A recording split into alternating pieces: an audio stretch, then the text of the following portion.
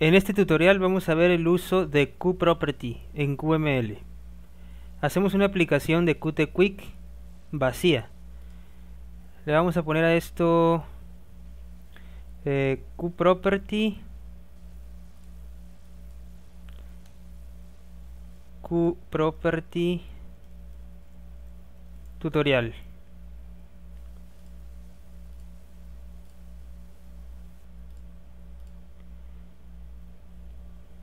Muy bien, aquí estamos.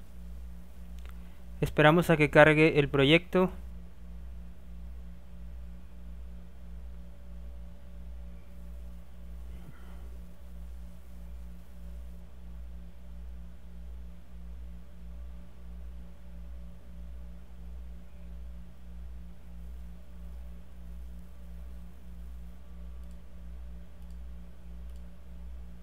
Muy bien, ya cargó el proyecto le vamos a poner aquí a esto ya está puesto. Entonces vamos a crear la interfaz gráfica. Vamos a agregar aquí Qt Quick Controls 2.2 aquí Application Window. Vamos a agregar una clase de C++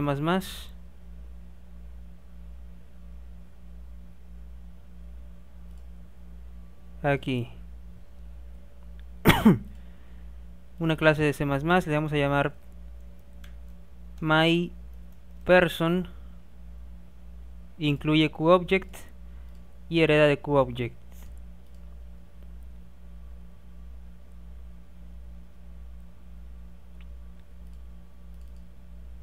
Ya, los ya, ya lo tenemos listo. Ahora aquí en la parte privada le vamos a poner nombre y edad. Aquí vamos a tener vamos a tener una señal que se llame name changed y otra que se llame age changed. Significa nombre cambiado y edad cambiada. Ahora le ponemos el método getter para el nombre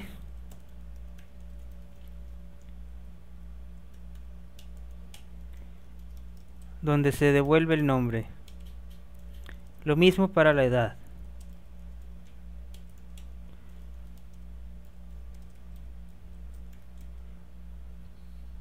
Luego, el método setName para ponerle el nombre a la persona.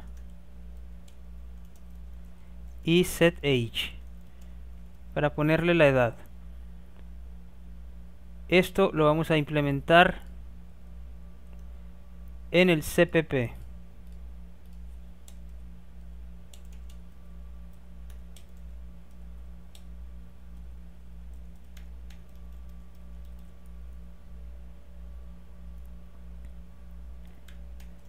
Lo hacemos por acá también. Decimos, si mname es diferente de name, mname es igual a name y emitimos name changed y acá hacemos lo mismo con la edad. Si la edad es diferente de edad la edad es igual a la edad y emitimos la señal de edad cambiada.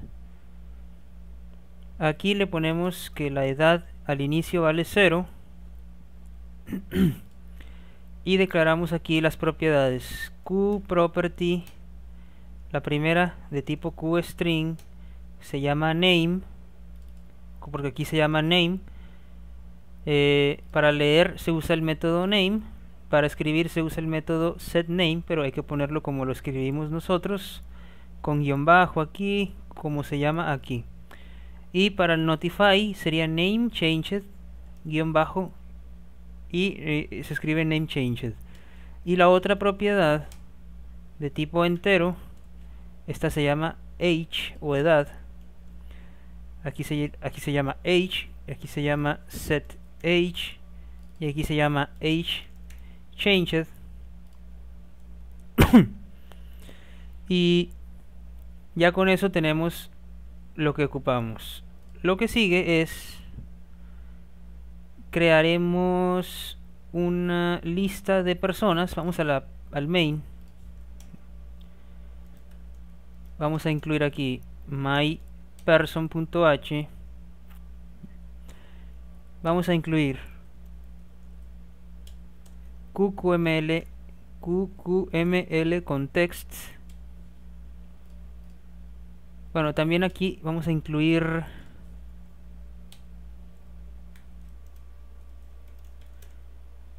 Vamos a venir acá primero. Sería quick controls 2. Es un, es un módulo que vamos a utilizar. Esperamos a que lo cargue. Lo está cargando. Ya lo cargó. Ahora vamos a incluir QQuick Style. Y aquí ponemos QQuick Style. Set Style y aquí le ponemos material. Es un estilo de varios que tenemos disponibles de acuerdo está por ejemplo estilos disponibles está material está imagine o imagine. El otro sería universal. El otro se llama fusión. Los vamos a probar todos en un momento más. Mientras sigamos escribiendo. Aquí le ponemos llaves. Y luego vamos a crear un QObject list que se llame personas o en inglés people que sería personas. Entonces, las personas le vamos a agregar una nueva persona que vamos a recibir por parámetro, ¿de acuerdo? Por aquí. My person recibe nombre y recibe edad y recibe QObject padre igual a null pointer. Luego esto lo implementamos. Le ponemos QObject aquí le ponemos el padre. Y aquí mname igual a name mh igual a age. Lo hacemos de esta manera.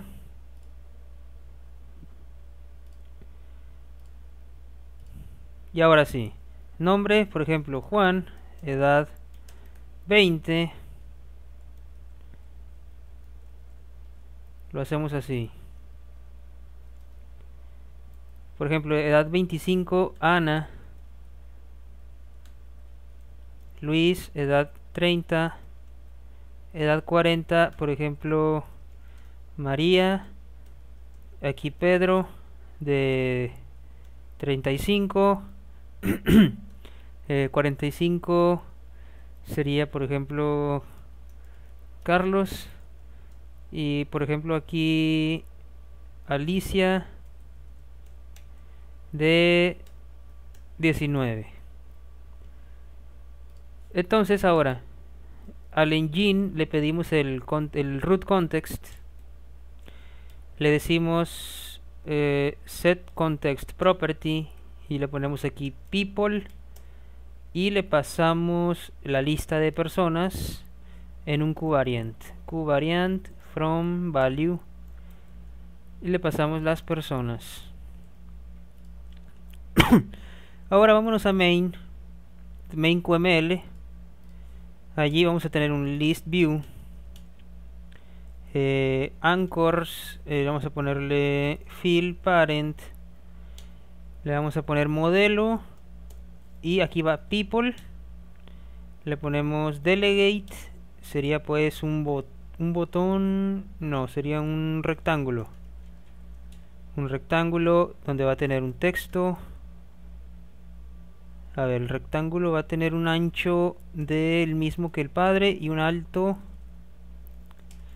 una altura de por ejemplo 30. El rectángulo va a tener un row layout. Hay que incluirlo. Importamos Qt Quick Layouts 1.3. Luego eh, ¿cómo es? Row layout. Este va a tener un width igual que el del padre. Va a tener un texto. Eh, va a tener de name. El name sale de los las personas. Otro texto que va a tener eh, de texto la edad. Y ah, un botón un botón que por lo pronto no hace nada. Eh, a todos estos le vamos a poner layout eh, fill with true layout fill with true y aquí también layout fill with true. Por lo pronto está bien así vamos a ejecutar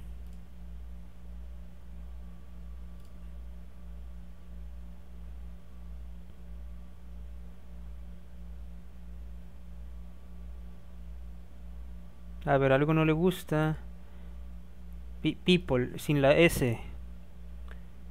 Guardamos esto.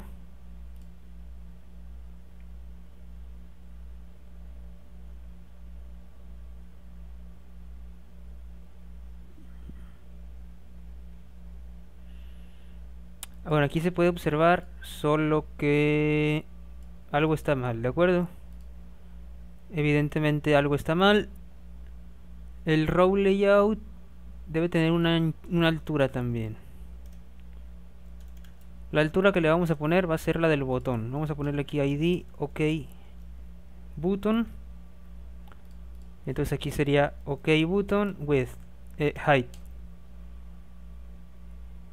Bien, vamos a ver.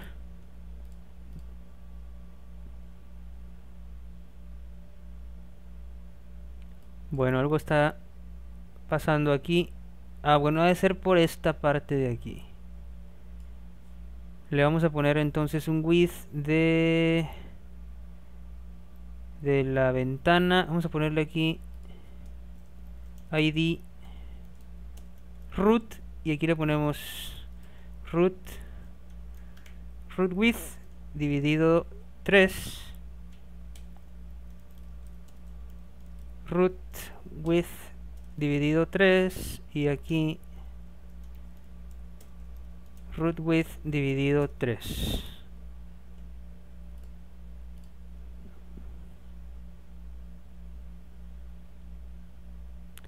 bueno ya está un poco mejor. ¿qué más? ah bueno esto hay que quitarlo. Esto lo quitamos. Le vamos a poner un espaciado de 5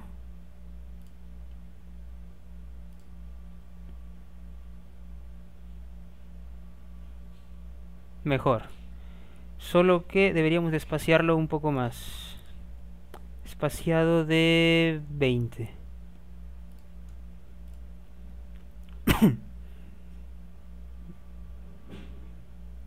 bueno algo está pasando. Vamos a en vez de ponerle rectángulo vamos a ponerle directamente el row layout.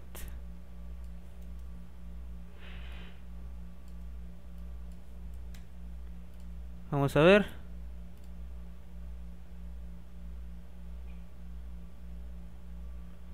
Bueno. Esto es porque eh, está curioso pero dejémoslo así entonces, si yo le pique, si yo le pico en alguno de estos botones, yo quiero que se modifique la edad. Le vamos a aumentar en 1 la edad. Entonces vamos a ponerle aquí eh, más ¿cómo le pondríamos? age más 1 así, age más 1 al, dar clic allí vamos a hacer on clicked vamos a ponerle aquí people.size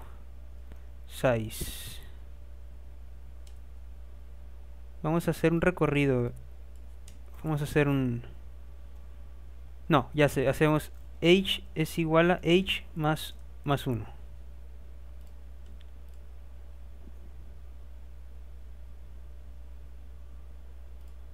Ah, lo pueden ver ahí. Cambia, ¿de acuerdo? Va cambiando la edad, va cambiando la edad.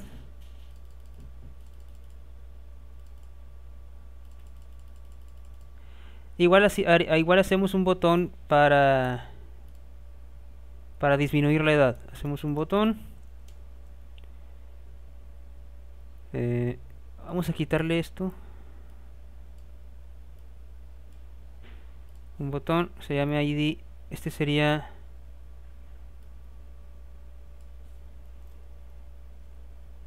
Incrementa la edad button.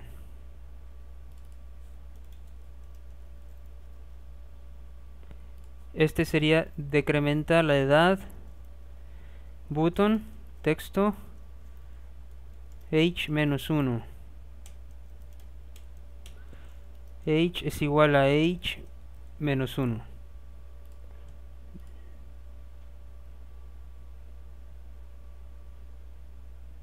ok. La disminuye y la aumenta ¿qué más? por ejemplo aquí estamos llenando el list view a todo el padre. Eh, vamos a ponerle ahora un text field o mejor un, un text input. No text field. Y aquí le vamos a poner un ancho de por ejemplo el ancho de la ventana dividido 1, 2, 3, 4, 5 dividido entre 5 le ponemos placeholder text enter name y un botón. Lo vamos a anclar en su right parent punto right top parent punto top bottom parent punto bottom y width parent punto width dividido 3 no dividido 5 cuando le demos clic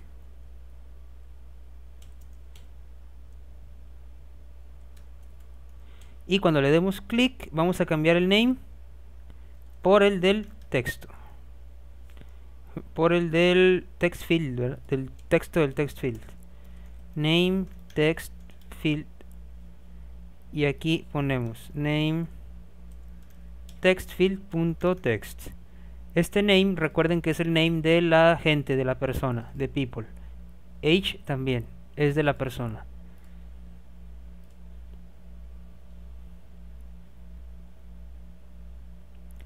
Correcto. Y el botón este debería de tener un texto. Que se llame OK.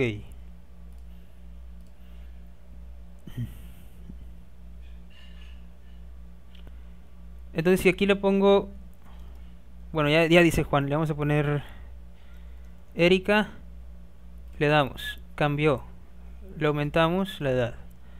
Aquí le ponemos, por ejemplo, Fernando. Ah, bueno, no aparece el texto del botón, ¿se han dado cuenta? Bueno, para que aparezca el texto le vamos a poner un ancho a este de dividido entre 3 y este de dividido entre entre 3 también. No, entre entre 5 está bien.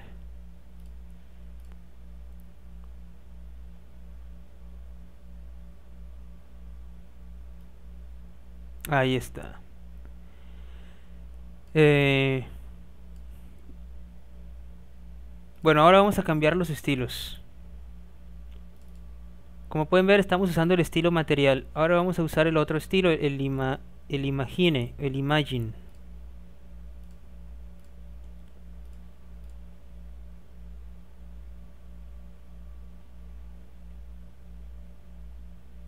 Sí, es un estilo distinto.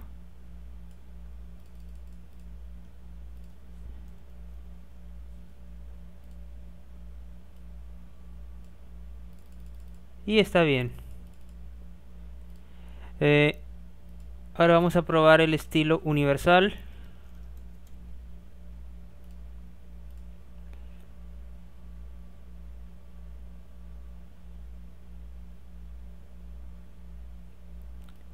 Este es diferente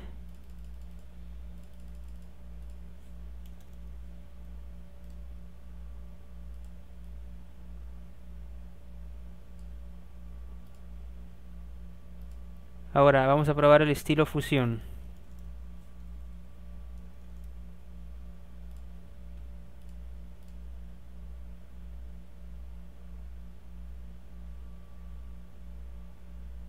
Este es el estilo que comúnmente se utiliza cuando usamos Qt Widgets.